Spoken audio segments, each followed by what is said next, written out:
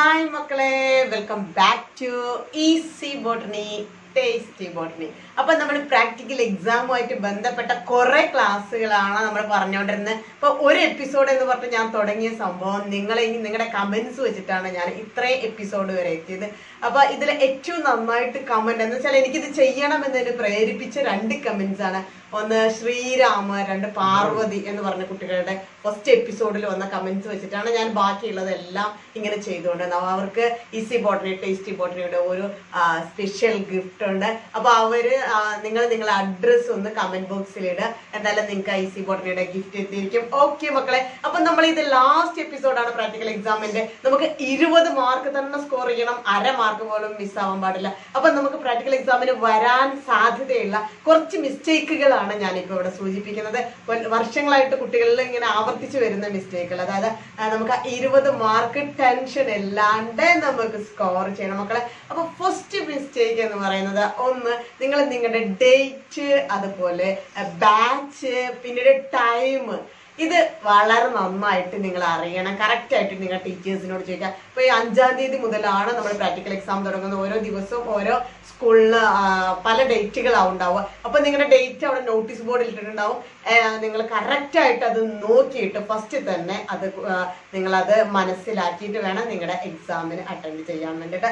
രണ്ടാമത് എന്താന്ന് വെച്ചാൽ റെക്കോർഡ് ഹാൾ ടിക്കറ്റ് നിങ്ങൾ എക്സാമിന് വേണ്ട എല്ലാ സംഭവങ്ങളായിട്ട് വരുമ്പോൾ പല കുട്ടികളും റെക്കോർഡിന്റെ കേസിൽ ഒരുപാട് ഡൗട്ടുകൾ വെച്ചു റെക്കോർഡ് നിങ്ങൾ എല്ലാ പേജിലും സൈൻ ചെയ്തിട്ടുണ്ടാവണം നിങ്ങളുടെ ടീച്ചർ റെക്കോർഡ് സർട്ടിഫൈഡ് റെക്കോർഡ് ആവണം. ഇനി എന്തെങ്കിലും പ്രശ്നം കാരണം നിങ്ങൾക്ക് റെക്കോർഡ് സബ്മിറ്റ് ചെയ്യാൻ ആ, സമയത്ത് പറ്റിയിട്ടില്ല എന്നുണ്ടെങ്കിൽ അല്ലെങ്കിൽ കുറെ നിങ്ങൾ സൈൻ ചെയ്യാത്ത റെക്കോർഡാണ് നിങ്ങളുടെ അടുത്ത് ഉണ്ടെങ്കിൽ ഒക്കെ തന്നെ നിങ്ങൾ ടീച്ചറിന്റെ പെർമിഷൻ വാങ്ങിച്ചിട്ട് നിങ്ങൾക്ക് എക്സാമിന് അറ്റൻഡ് ചെയ്യാവുന്നതാണ്. പിന്നെ വേറെ എന്ന് വെച്ചാൽ ഈ ഡേറ്റ് നിങ്ങൾക്ക് അന്ന് എന്തെങ്കിലും കാരണവശാൽ എന്തെങ്കിലും പെട്ടെന്ന് ഭയങ്കര സീരിയസ് ഇഷ്യൂസ് കാരണം ആ ഡേറ്റിന് അറ്റൻഡ് ചെയ്യാൻ പറ്റിയില്ലെങ്കിൽ നിങ്ങളെ നിങ്ങളുടെ ഇന്റർണൽ എക്സാമിനോട് പറഞ്ഞ് പ്രിൻസിപ്പളിന്റെ പെർമിഷൻ വാങ്ങി ആ എക്സ്റ്റേണൽ എക്സാമിനർക്ക് സൗകര്യമുള്ള ഈ ഈ ഡേറ്റുകളിലെ ഏതെങ്കിലും ഒരു ഡേറ്റിൽ നിങ്ങൾക്ക് പ്രാക്ടിക്കൽ എക്സാം ചെയ്യാം എന്നുള്ള ഒരു സൗകര്യം കൂടി ഏർപ്പെടുത്തുന്നതാണ്. അപ്പോൾ എന്തെങ്കിലും പറ്റിയെന്ന് വിചാരിച്ച് നിങ്ങൾ പേടിക്കേണ്ട. ഈ വർഷം തന്നെ നിങ്ങൾ മാക്സിമം ആ പ്രാക്ടിക്കൽ എക്സാം അറ്റൻഡ് ചെയ്യണം.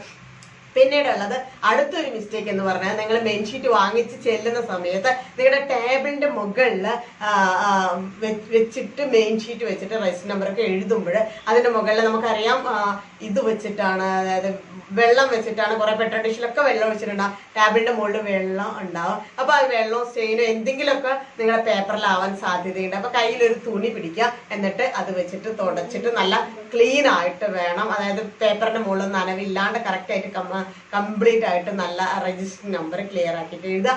പിന്നീടുള്ള പിന്നെ ഒരു മിസ്റ്റേക്ക് നമ്മുടെ കയ്യിൽ സംഭവിക്കുക നമ്മൾ ബ്ലേഡ് നല്ല മൂർച്ചയുള്ള ബ്ലേഡാണ് നിങ്ങൾ കൊണ്ടുവരിക. അപ്പൊ ഈ ബ്ലേഡ് വെച്ചിട്ട് കൈ മുറിഞ്ഞു പോകാനുള്ള സാധ്യത പല കുട്ടികളും ബ്ലേഡ് ഓപ്പൺ ആക്കിയിട്ട് അധികം എന്തെങ്കിലും ഏതെങ്കിലും ഒരു കുട്ടിക്കെങ്കിലും ബ്ലേഡ് വെച്ചിട്ട് ഇഞ്ചുറി സംഭവിക്കാറുണ്ട്.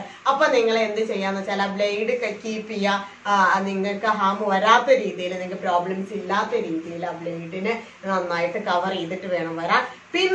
അടുത്ത മിസ്റ്റേക്ക് വരുന്നത് എ മെറ്റീരിയൽ നിങ്ങൾ സെക്ഷൻ എടുത്തിട്ട് മൗണ്ട് ചെയ്തിട്ട് ഡയഗ്രാം വരക്കും ലാബിൽ ഒക്കെ ചെയ്തിട്ടുണ്ടാവും. ഒന്ന് ഏത് ഡയഗ്രാം നാല് ഡയഗ്രാംസ് ഉണ്ട്.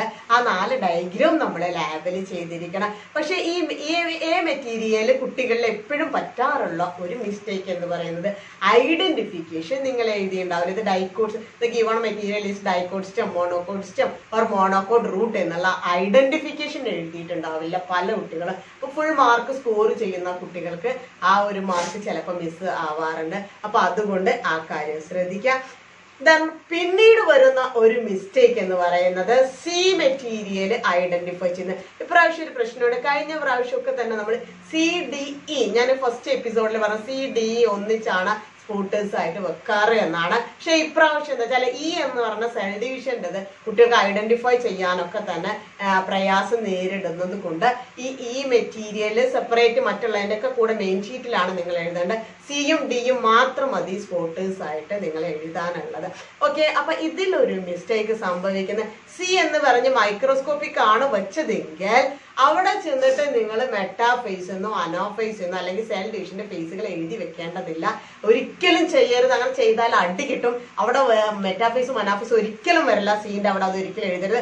എപ്പോഴും കുട്ടികളെ റിപ്പീറ്റ് ചെയ്ത് വരുന്ന ഒരു മിസ്റ്റേക്കാണ് അത് പിന്നീടുള്ള അപ്പോൾ ഈ സി ഡി ഒക്കെ എഴുതി വന്നു പിന്നീടുള്ള ഒരു മിസ്റ്റേക്ക് എന്ന് പറഞ്ഞാൽ ഈ മെറ്റീരിയൽ പോയിന്റർ വെച്ചിട്ട് ഐ പി സി വെച്ചിട്ട് അതിൽ പല സ്റ്റേജസ് ഉണ്ടാവും. പോയിന്റർ വെച്ചിട്ട് കാണിക്കുന്ന ആ സ്റ്റേജ് ആണ് നിങ്ങൾ ഐഡന്റിഫൈ ചെയ്യേണ്ടത്. അതിൽ കുട്ടികൾ സംഭവിക്കില്ല. അത് ചിലപ്പോൾ സിയുടെ നോസ്റ്റോക്ക് എന്നോ അല്ലെങ്കിൽ ഓസിലേറ്റോറിയ എന്നൊക്കെ നിങ്ങൾ എഴുതി വെക്കാറുണ്ട്. അത് ഒരിക്കലും എഴുതി വെക്കരുത്. അത് സെൽ ഡിവിഷൻ മാത്രമേ ഇതിൽ ഉണ്ടാവുള്ളൂ. ഏതെങ്കിലും രണ്ട് സ്റ്റേജസ് മാത്രമേ ഉണ്ടാവുള്ളൂ. അപ്പൊ അത് നിങ്ങൾ എന്ത് ചെയ്യാന്ന് വെച്ചാൽ ഈ സെൽ ഡിവിഷൻ പോയിന്റർ വെച്ചിട്ട് എന്തെങ്കിലും മാറിയിട്ടുണ്ട് വെച്ചാൽ നിങ്ങളെ ടീച്ചേഴ്സിനെ അറിയിക്കുക എക്സ്റ്റേണൽ എക്സാമിനടുത്ത് പറയാം കാണുന്നില്ല എന്ന് പറയാം. അപ്പൊ അവർ നിങ്ങൾക്ക് അത് ഫോക്കസ് ചെയ്ത് തരും. പിന്നെ മൈക്രോസ്കോപ്പ് നിങ്ങൾ ഫോക്കസ് ചെയ്തിട്ട് അതിന്റെ മുകളിൽ നിൽക്കേണ്ട കാര്യമല്ല. അത് ടീച്ചേഴ്സ് നിങ്ങൾക്ക് ഫോക്കസ് ചെയ്ത് വെച്ച് തരും. നിങ്ങൾ അവിടെ കൊണ്ടുപോയിട്ട് കാണിക്കാം പിന്നെ നിങ്ങൾ ചെയ്യുന്ന ഒരു അബദ്ധം എന്ന് പറയുന്നത് ഈ സ്ലൈഡ് ഒക്കെ പ്രിപ്പയർ ചെയ്ത് വെച്ചിട്ടുണ്ടാവും. ടെൻഷനിൽ മറ്റൊക്കെ എഴുതി സ്ലൈഡ് ചോദിക്കുന്ന സമയത്ത് പല ചില കുട്ടികൾക്ക് ആ സ്ലൈഡ് തെരഞ്ഞു നോക്കുന്ന ഒരു അവസ്ഥ ഉണ്ടാവുന്നത് അപ്പൊ സ്ലൈഡ് നമ്മൾ സബ്മിറ്റ് ചെയ്താൽ മാത്രമേ നിങ്ങൾക്ക് മാർക്ക് കിട്ടുള്ളൂ. പിന്നെ ഇതൊക്കെയാണ് നമുക്ക് സാധാരണ നിങ്ങൾക്ക് സംഭവിക്കാറുള്ള മിസ്റ്റേക്സ് എന്ന് പറയുന്നത്. പിന്നെ എന്താ വെച്ചാൽ നാല് ഡയഗ്രാംസ് ഉണ്ടാവും. ആ നാല് ഡയഗ്രാംസും ലാബിൽ ചെയ്തിട്ടില്ലേ നോക്കണം. അപ്പൊ മക്കളെ ഇപ്പോ നിങ്ങൾ ഈ വർഷത്തെ പ്രാക്ടിക്കൽ എക്സാമിന് ഈ വീഡിയോ കണ്ടിട്ടുള്ള എല്ലാ കുട്ടികളും ട്വന്റി ട്വന്റി നിർബന്ധമായിട്ടും വാങ്ങിയിരിക്കണം. അത് വാങ്ങാൻ നിങ്ങൾക്ക് കഴിയും. നമുക്ക് എല്ലാ മിസ്റ്റേക്സും എന്തൊക്കെ പ്രശ്നങ്ങളുണ്ട് എന്നൊക്കെ പറഞ്ഞാൽ പിന്നെ ടെൻഷൻ അടിക്കാണ്ട് എക്സാമിനെ അറ്റൻഡ് ചെയ്യുക എക്സാം ഹാളിലേക്ക് കയറുന്നതിന് കുറച്ച് മുമ്പ് ഒരു മിഠായി മധുരമുള്ള എന്തെങ്കിലുമൊക്കെ കഴിച്ചിട്ട് റിലാക്സ് ചെയ്ത് കയറുക പിന്നെ പിന്നെ ഉള്ളത് ജി മെറ്റീരിയൽ ആണ് ഫ്ലവറിന്റെ ഫ്ലോറൽ ഫോർമുല എഴുതാൻ. അപ്പൊ അതിൽ ഫാബേസി ആയിട്ട് ഞാൻ വെക്കാറുള്ളത് കുന്നപ്പൂവ് അതുപോലെ ലിലിയേസിയക്ക് ഉള്ളിന്റെ പൂവ് കിട്ടും വാങ്ങിക്കാൻ വേണ്ടിയിട്ട്. അതുപോലെ സൊളനേസിയേക്ക് മുളകിന്റെ പൂവ് വഴുതനയുടെ പൂവ് ഒക്കെ വെക്കാം. അത് നിങ്ങളുടെ ടീച്ചർ എന്താണോ വെക്കുന്നത്. നിങ്ങൾ ചോദിക്കുക അതിനനുസരിച്ച് ടീച്ചേഴ്സും അവിടെ ചോദിച്ചിട്ട് അത് ജസ്റ്റ് ഒന്ന് കണ്ടിട്ട് വേണം നിങ്ങൾ അത് അറ്റൻഡ് ചെയ്യാൻ വേണ്ടിയിട്ട്. അപ്പൊ മക്കളെ ഇപ്പത്തെ നമ്മുടെ എല്ലാ സംഭവങ്ങളും വളരെ ക്ലിയർ ആയി. ഇനി എന്തെങ്കിലും ഡൗട്ടുകൾ ഉണ്ടെങ്കിൽ നിങ്ങൾ കമന്റ് ചെയ്യുക നിങ്ങളുടെ ഈ കമന്റ്സിനനുസരിച്ചാണ് ഞാൻ മൂവ് ചെയ്യുന്നത്. ഇനി നമുക്ക് തിയറിയാണ് ഡിസ്കസ് ചെയ്യാനുള്ളത്. ബോട്ടണി എന്നുള്ള സബ്ജക്റ്റിൽ നിങ്ങൾക്ക് വളരെ കോൺഫിഡന്റ് ആയിട്ട് വേണം എക്സാമുകൾ അറ്റൻഡ് ചെയ്യാൻ വേണ്ടിയിട്ട്. അപ്പൊ നമ്മളുള്ള എല്ലാ സൗകര്യങ്ങളും നമ്മൾ യൂസ് ചെയ്യാണ്.